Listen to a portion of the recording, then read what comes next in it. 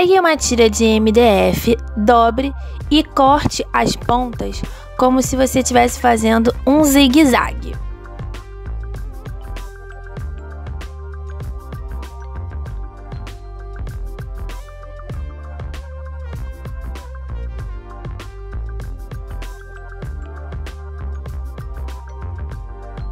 Pegue um pote e cole esse MDF que a gente acabou de fazer.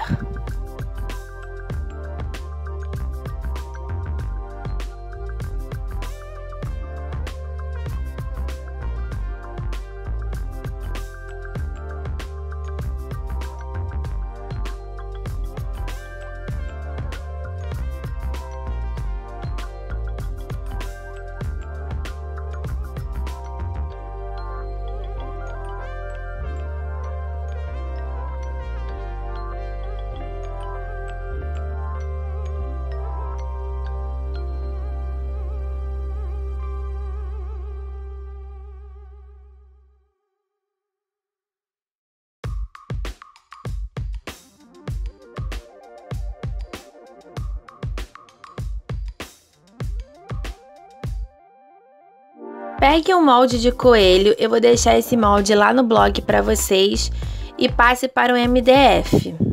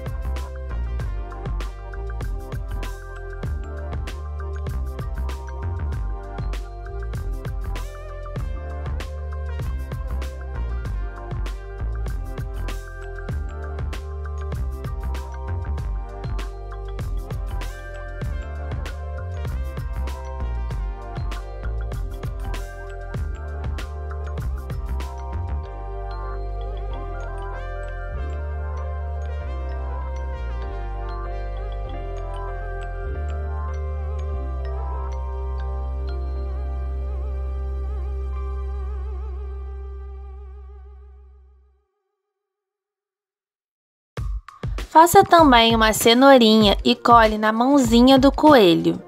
E em seguida, coloque o coelho na parte da frente do pote. Para dar um acabamento melhor na parte de dentro, coloquei uns papéis picados e assim eu vou poder colocar alguns bombons para presentear a pessoa que eu gosto.